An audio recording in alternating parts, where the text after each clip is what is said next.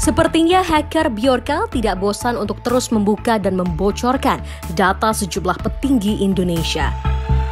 Kali ini, Menko Polhukam Mahfud MD yang menjadi korbannya.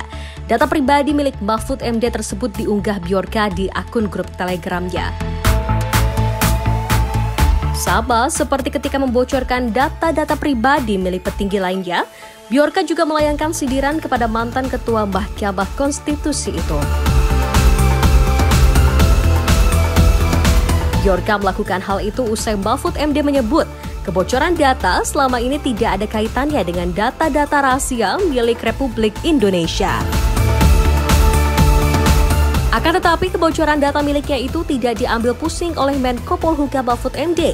Ia menegaskan data pribadinya bukanlah rahasia. Orang lain bisa mengaksesnya lewat Google dan bukunya.